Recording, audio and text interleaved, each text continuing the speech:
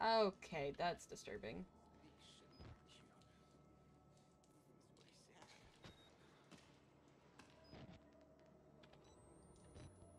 Alright, there's just a man chilling here. Maybe Father Martin's man. Maybe.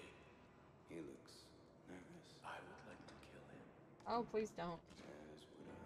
The preacher looks like he's seen a ghost. It would be. You know, Not here.